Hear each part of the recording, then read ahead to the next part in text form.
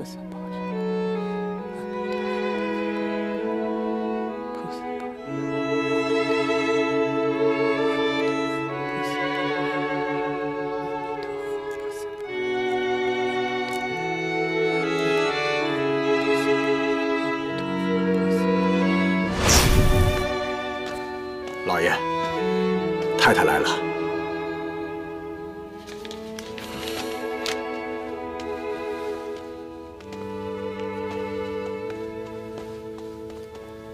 老爷，找我什么事啊？没事就不能来找你了吗？我不是这个意思。是关于月明的。月明他怎么了？月明他跟我说，他爱上了一个姑娘，他想娶她，就是那个为我梳头发的姑娘。顾海棠。月明的心意十分坚决，他一定要娶她。如果娶不到她，宁愿去死。月明一直是我的心病。这么多年来，他一直封闭自己，不让任何人靠近。真没想到，他为一个女孩子动了真情。这不就是你一手促成的吗？因为月明的那张脸，为了你老家的面子和生意，你宁愿他永世都不被人所见到。好了，现在世人真的把他都给忘了，连你也把他都给忘了。一派胡言！我做的一切都是为了月明好。最初放出消息，说朗大少爷身染重疾，不宜见光，不是你吗？命令我们所有人，在任何人面前都不能提月明的事，不是你吗？好了，现在昆阳城上上下下，还有谁知道朗家还有个大少爷？不知道的，还以为一个养子就能继承衣钵呢。朗家不同寻常百姓家里，我们有点什么事，有千万双眼睛盯着。月明的事故，本来就对他造成了沉重的打击。我是怕公开之后，月明会受到更多的打扰和不必要的关注。这孩子的内心多脆弱。他的心里有多苦，别人不知道，我们做父母的还不知道吗？月明是个男子汉，我看他没有你说的那么不堪。我也想让他出来闯荡，别人说三道四，我可以在他的身边同他一块儿扛着。可他天天把自己锁在屋里，他有这个打算吗？那你倒是多关心关心他呀。你到他那边多走动走动不就好了吗？你看你，你和月轩的话就很多，比跟月明多很多。一家人说话还要分多跟少吗？你哪来的这么大火气？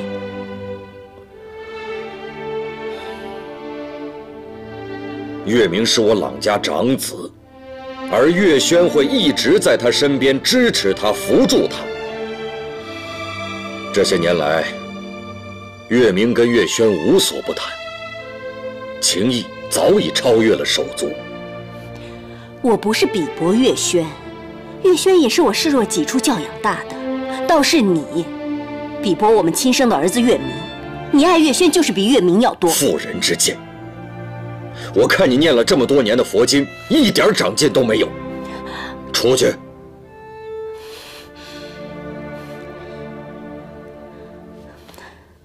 算了，我来找你。是谈月明的婚事，你打算怎么办？既然你早有所知，恐怕也早有打算了吧？我只想听你给句话，你是同意还是不同意？那位海棠姑娘人才相貌都很出众，我当然不会反对。只是看她处事的魄力。还是相当有主见。如果她自己不同意，恐怕金钱跟权势都无济于事。你看人倒是通透。不如趁着他跟你每日见面的亲近，你将月明的事一点一点地告诉他，以表示我们的真心实意。久而久之，或许可以感化。顾海棠这个女子自视甚高，万一她最终还是不同意怎么办？那我们就放弃，也不能勉强人家。那我们的月明呢？你想眼看着燃起的一点希望又化为泡影了？不希望了。但是我们也不能欺负人家一个女孩子嘛。月明现在这样子，他确实配不上那个顾海棠。怎么就配不上呢？他可是堂堂郎里春的大少爷。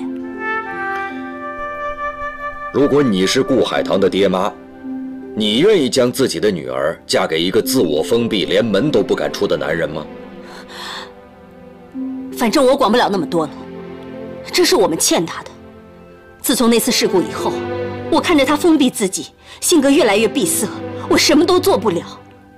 他渐渐长大，我一想到他要孤独终老，我真的没有办法接受。现在天上掉下来个顾海棠，他就像一把钥匙那样，可以打开月明通往外界大门的锁。我们绝对不能放过他的。难道你有什么万全之策吗？只有一个办法能让顾海棠答应婚事，嫁进我们郎家，生米煮成熟饭，那就八九不离十了。那你打算怎么做呀？这件事需要我们全家上下联手，对外密不透风。而计划的最关键点，就是月轩。月轩。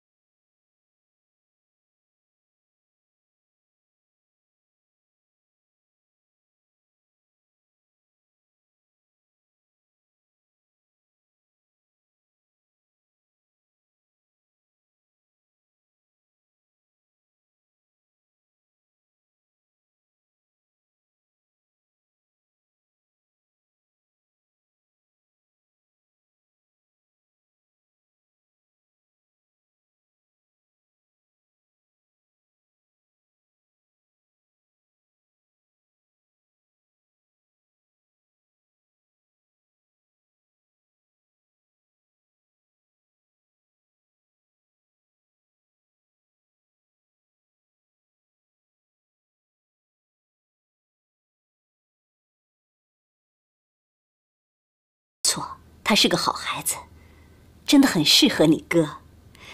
这么多年来，你哥除了接触你，都没接触过其他人。现在好了，他有了喜欢的人，他会因为他喜欢的人而换一种活法。打铁要趁热，娘打算尽早把他们的婚事给办了。你说这是不是大好事啊？是个好事。娘，海棠知道了吗？还没有，这不叫你来跟你商量一下，这件事情你要上心，帮帮你哥。我我怎么帮啊？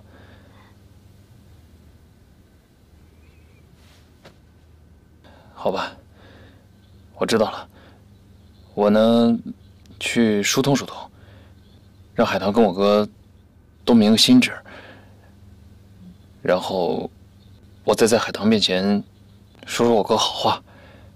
接下来我就管不了了。这个办法不行。月明的情况你又不是不知道，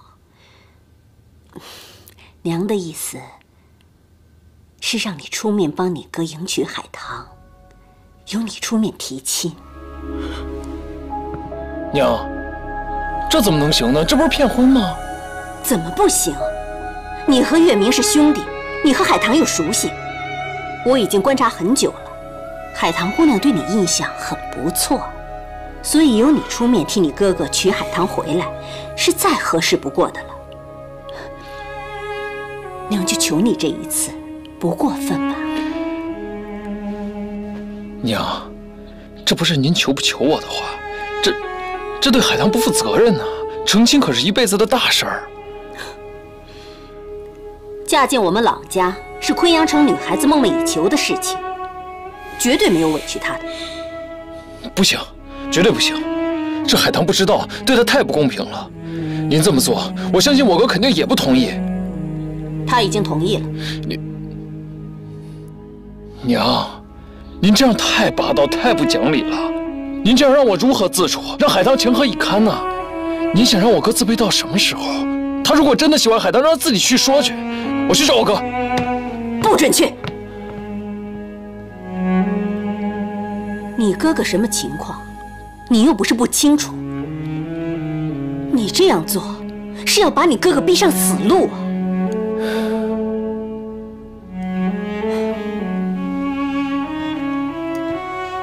月轩，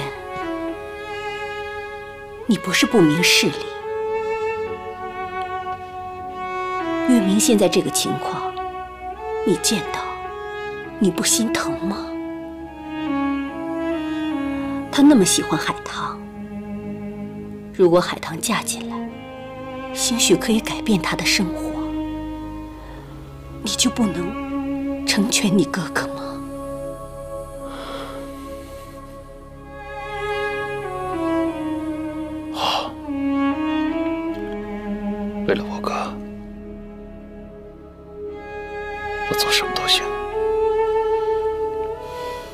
但是娘。我要告诉您，这件事对海棠的伤害太大了。海棠现在是月明唯一的希望了。你们兄弟连心，小时候是他给了你希望，现在你若是不肯帮你哥哥迎娶这希望，那对他的伤害就真的太大了。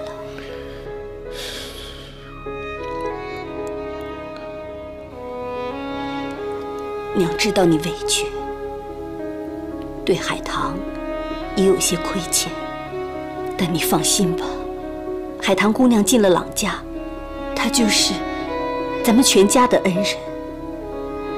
这丫头，我原就喜欢她，是绝对不会亏待她的。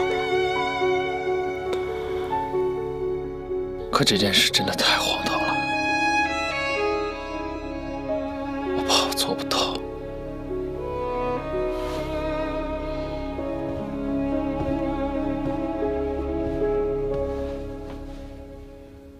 你要是不答应，以后就不要认我这个娘。月明也没有你这个弟弟。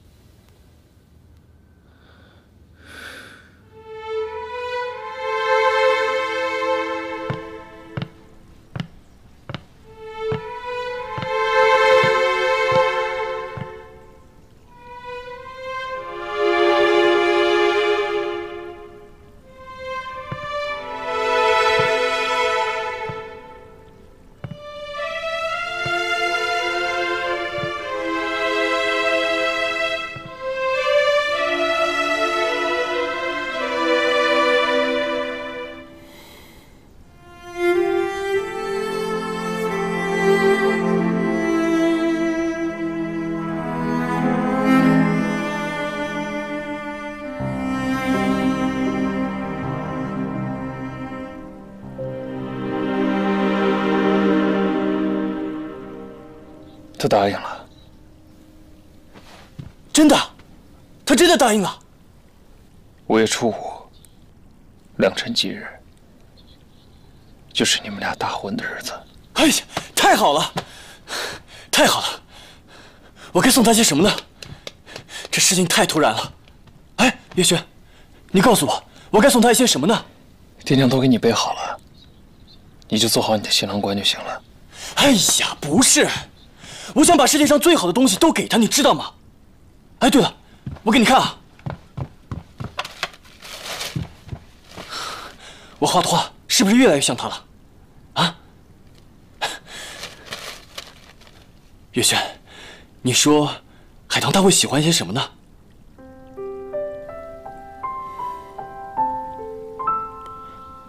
送他片园子吧，为他种的园子。园子？海棠不是那种喜欢金银珠宝的范式女子，她喜欢花草、自然。能买到的东西代表不了真心，所以我想送她片园子。好，好，就就就送她园子。我亲手为她种下的园子，谢谢你，月轩，谢谢。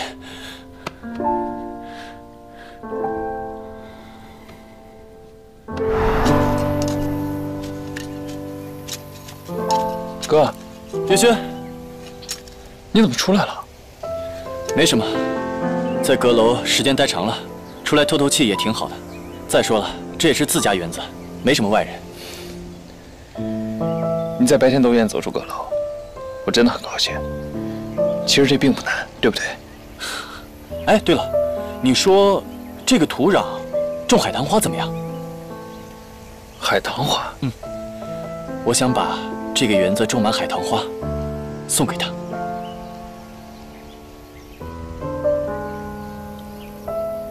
谢谢你啊，玉轩。其实你不用为我做这么多的。不用谢我，你喜欢就好。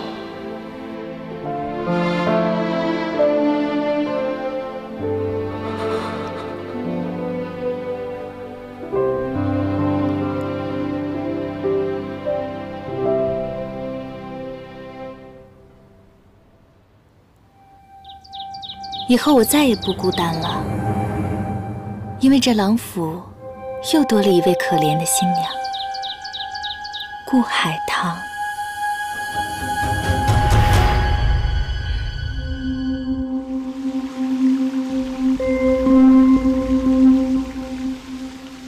小姐，你就吃一点吧，别饿坏了身子。小姐，我问你啊，昨天的事怎么样了？海棠她逃婚了吗？我听说，听说后来海棠小姐她上了花轿，昨晚就跟朗少爷拜堂成亲了。海棠她上花轿了？怎么可能？不可能！我还是得去趟朗家。走，跟我走。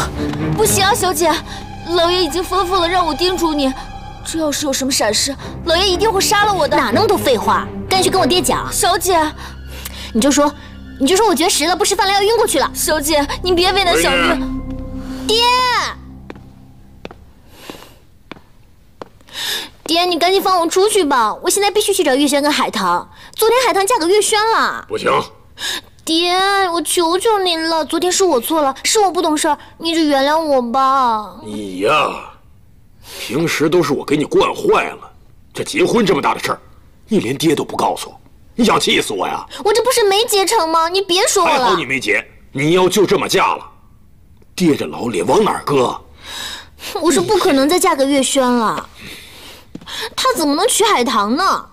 海棠居然一直在利用我爹，还有那朗家，他们居然不把我们龙家当回事儿，放着我龙府的千金不娶，偏偏要娶一个乡下丫头，爹怎么办啊？你总是朗月轩朗月轩的，他真有那么好吗？值得你为他动这么大心思？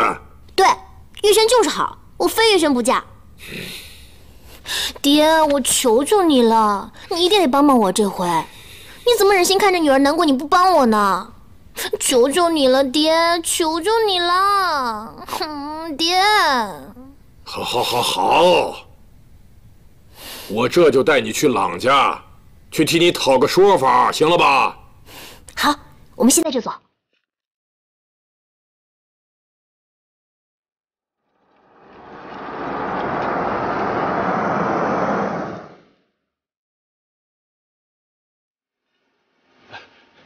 龙大帅，我正修路呢，您稍等，我马上把东西挪走啊。嗯，一会儿听爹的，你别说话啊。哼，请。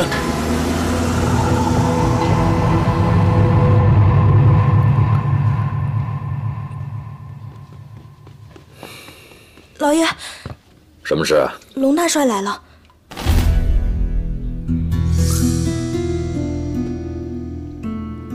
龙大帅来了，也没人通知我，有急事找我吗？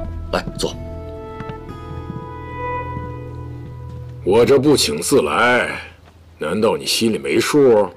什么事把龙大帅气成这个样子？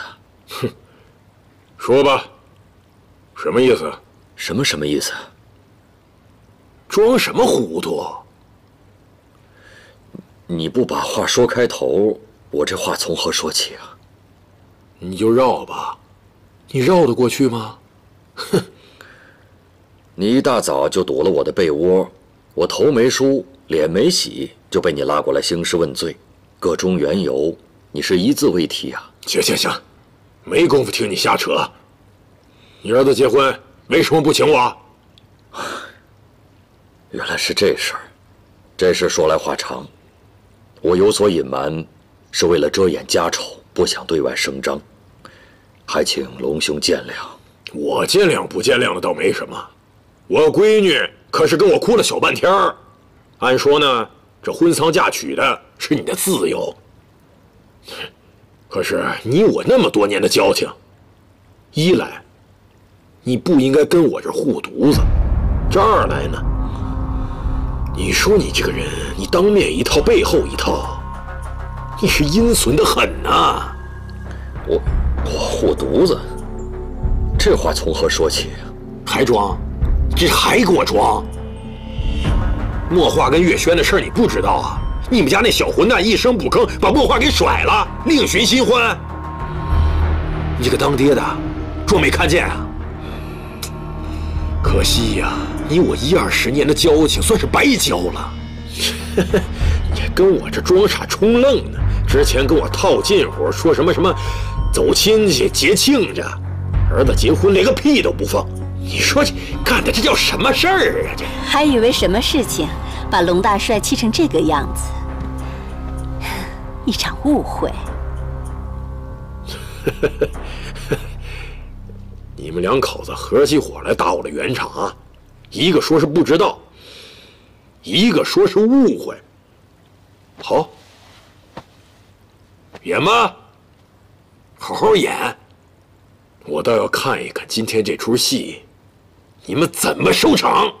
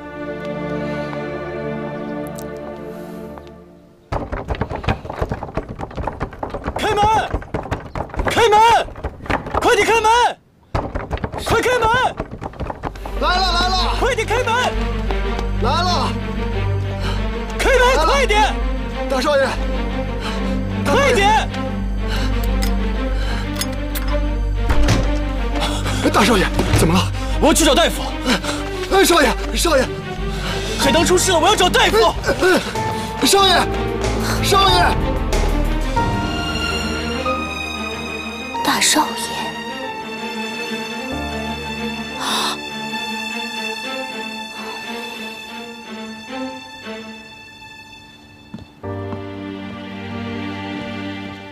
龙将军，墨画和月轩心心相依，青梅竹马。哼，这是我们两家修来的福分。我们朗家怎么可能不识抬举，不知道龙大帅的一番心意呢？这喜事可不是给月轩办的。你，你又续了一房啊？哎呀，原来是你呀，你个老小子！我哪有这个心思呀？就算有，他也不敢。哎呀，这这这到底咋回事嘛？我们家的情况，说来话长。我的长子月明，本来是个俊秀的孩子，文静娴雅，喜爱诗书雅乐，人见人爱，是我朗家朗里春的活招牌。怎么长的呀？这小脸蛋能吃白，皮肤鲜嫩，这耳朵水灵灵的，一把能掐出水来。月明，娘，来。哎呦，真不愧是朗家的少爷。看你们这些活宝啊，每次见到我们家小月明就缠着不放，流口水，当心吓到他。有没有吓到你啊？没有。然而十年前的一场事故，让他毁了容貌。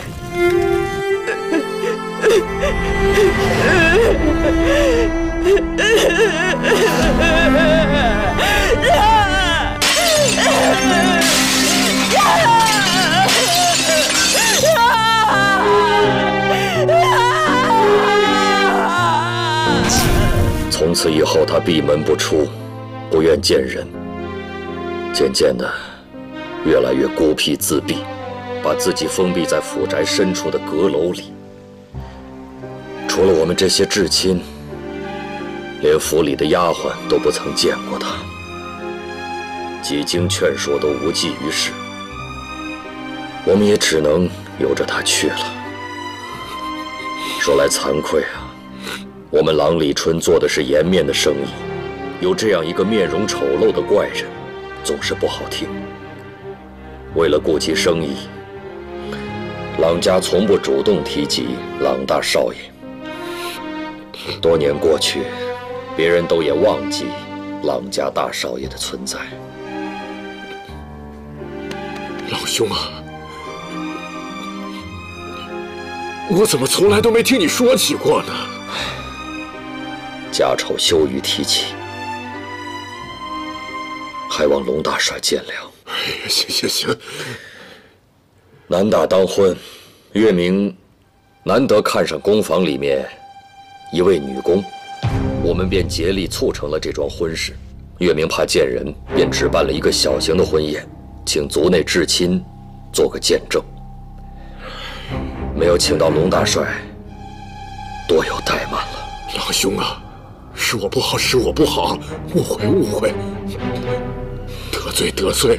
哎呀，这家家都有本难念的经啊，老兄，你也不容易呀。改天我把贺礼补上。呃，算作给郎大少爷。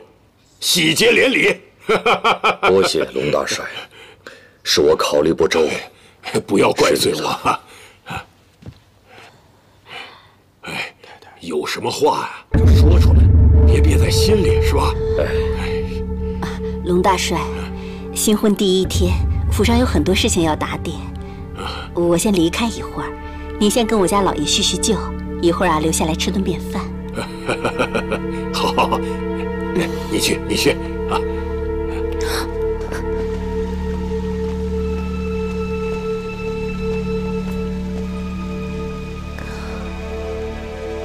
哦，原来是这样。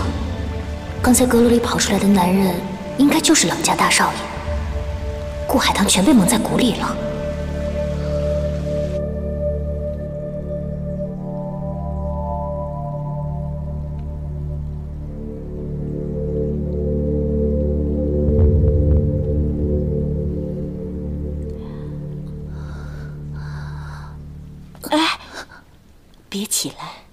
你发着高烧呢，要好好躺着休养。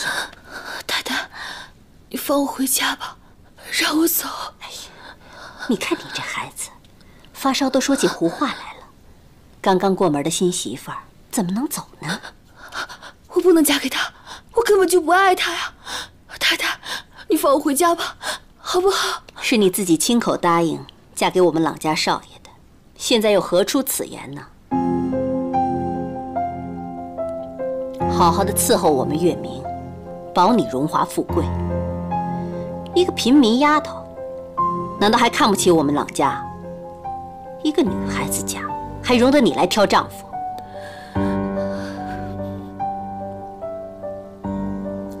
来，把药吃了。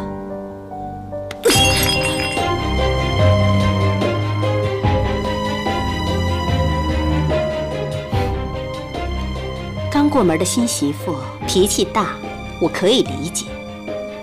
那你就继续待在房里反省，哪天想通了，哪天就可以出去了。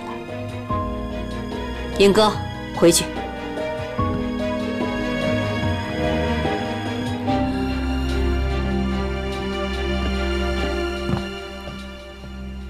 给我看着大少奶奶。是太太。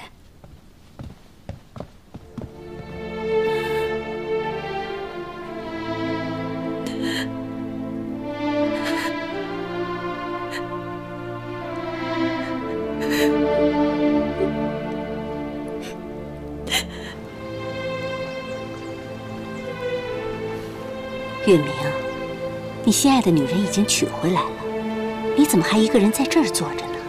娘，我后悔了，我是不是不该这么对待？月明，在感情面前，没有谁对谁错。你第一次开口求我，就是求我帮你娶到这个姑娘。儿子的心愿，我做娘亲的，一定千方百计的为你达成。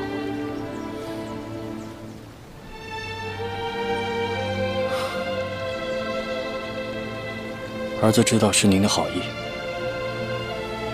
我明白。是，我们虽然用了一些不一样的手段，但感情可以慢慢培养，日久生情。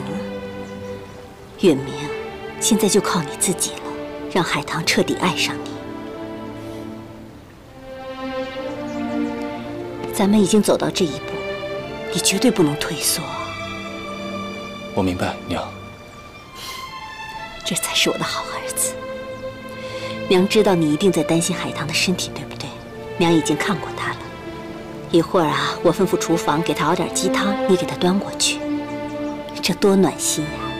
一点一点的，女人会慢慢被你感动。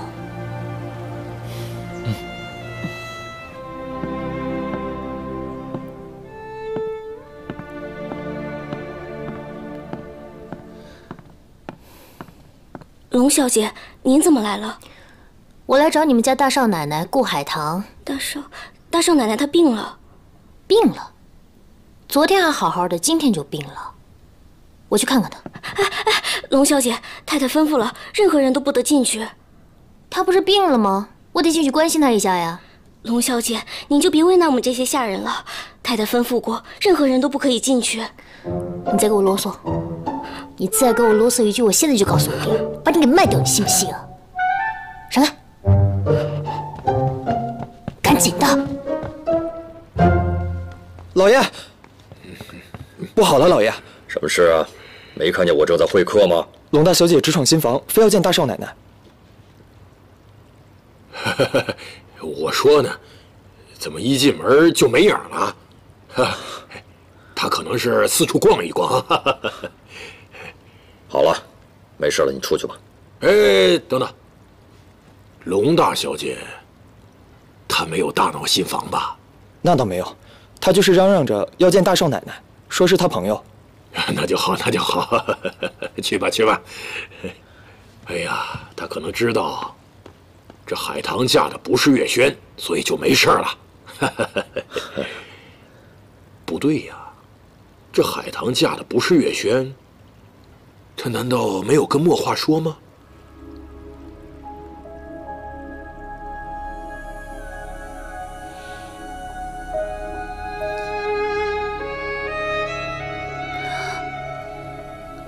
墨画，大少奶奶看起来不怎么样吗？墨画，你怎么来了？大少奶奶当的不错啊。你别叫我名字，你还拿我当朋友吗？事情的真相我已经知道了，你不用在这跟我逞强。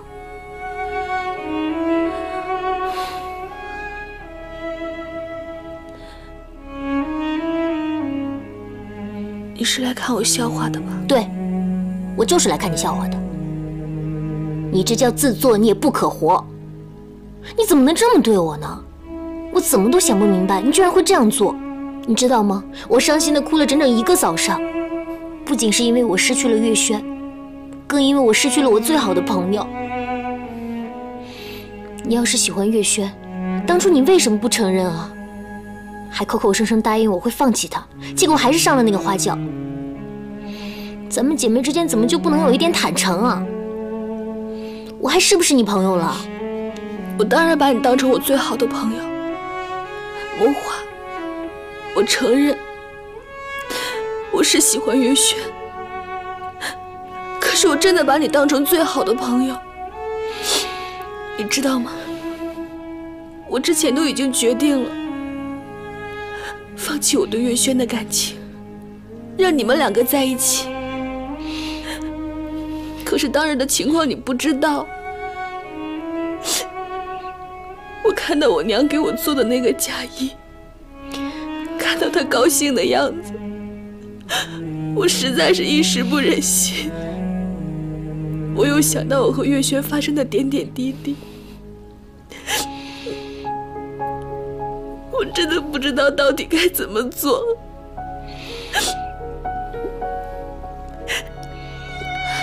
还有，行了行了，现在知道后悔了，晚了。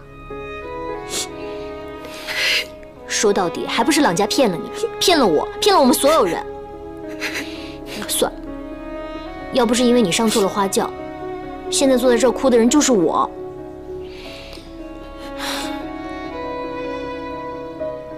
你看看你现在的样子，你能不能振作一点啊？你知道吗？我真希望这是一场梦。当我醒来的时候，发现这一切都是假的，那该多好啊！